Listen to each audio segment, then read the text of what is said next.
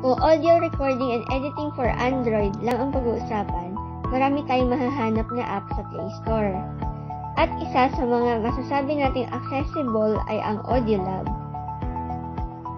Hi guys, this is Nils and in this video, ipapakita ko sa inyo kung paano mag-record gamit ang Audiolab. like, share,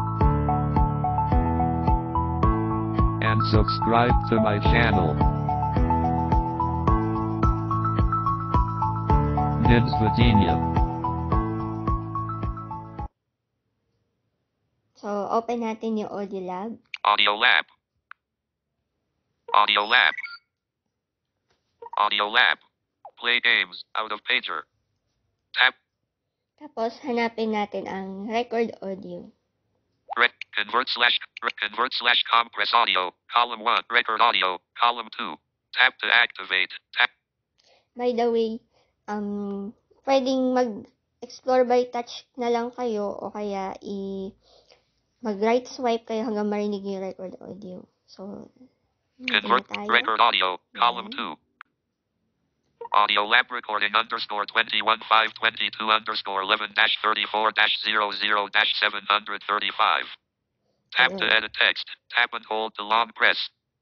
Ayun, ang daming numbers, no? Pero ayun kasi, edit text siya. Nagland tayo dun sa magiging title ng recording natin. So, i-edit na lang natin ito para magkaroon tayo nung descriptive naman kahit papano na file name ng ating recording. Music. Audio lab recording underscore 21522 Clear mo na underscore 11 dash 34 dash 00 dash 700. So, i-clear muna natin ito.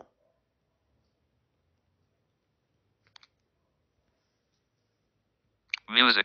Audio lab. Showing English. Philippines. Mhm. QWER. Talkback menu. Editing option.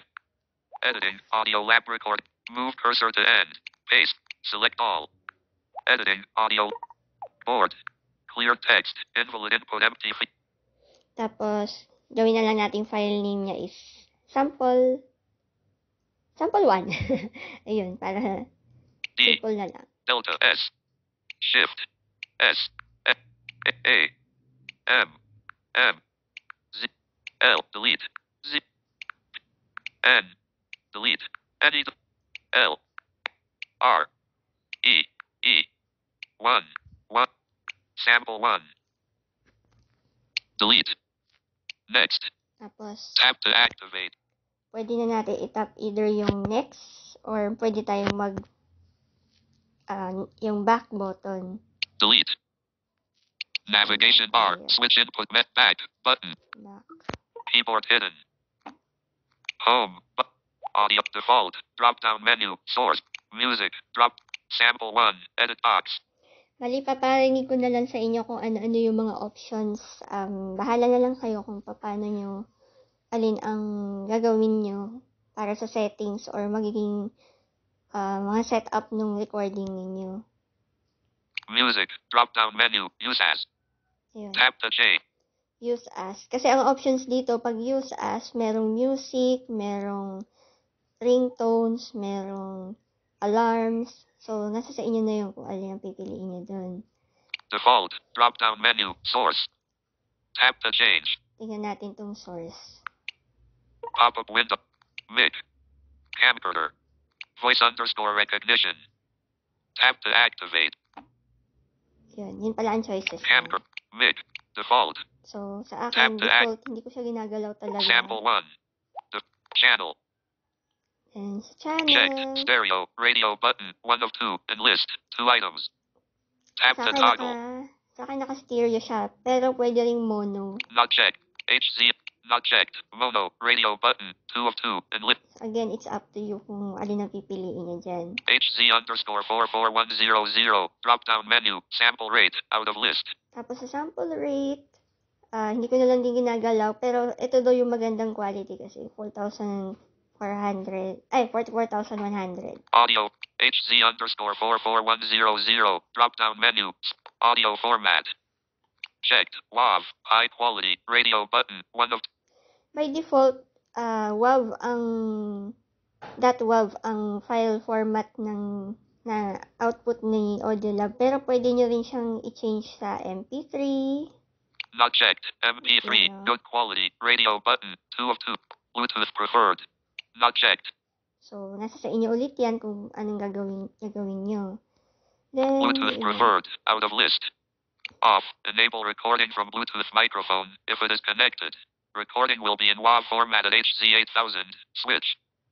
Tap the toggle. Yan. On. Pause during phone call. Switch. Tap the toggle. Ayun, pwede siyang mag-pause during phone call para in case lang na nagre-recording kayo tapos may biglang tumawag sa inyo. Ay, hindi naman marirecord yung, tin- yung pinag-uusapan niyo sa call. At least, bawas din yun sa i-edit niyo later on kung nasa gitna kayo na recording habang may tumatawag sa inyo. So, right swipe ulit Off. ako. For skip silence. Switch. Tap the toggle. Hmm. Ito, for skip silence, na-try ko to dati.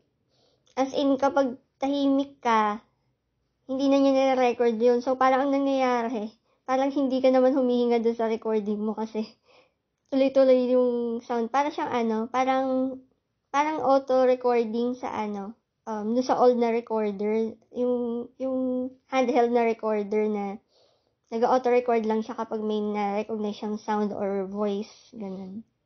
Off. Noise suppressor. Switch. Tap the toggle. Gusto, may noise suppressor din siya in case lang na siguro maingay yung background mo at kailangan mong i-minimize. So, para ka na rin siguro naka-noise cancellation headset habang nag-record. Though, yun nga, parang medyo, medyo maapektuhan din yung, yung voice mo siguro kasi medyo yung, hindi siya na natural sounding. Na-try ko kasi to dun, parang iba yung sound. So, it's up to you. Subukan nyo rin kung ano maging, kung anong pagkakaiba or baka mas magandang ganyan na lang. So, sa akin, naka-off lang yan. Off. Automatic gain control. Switch. Tap the toggle. Yun naman automatic gain control. Siyempre, pampalakas. Parang pag-adjust na rin siya ng, ng volume ng, ng voice. Off. Off. Automatic gain. Off. Oh. Echo canceller. Switch.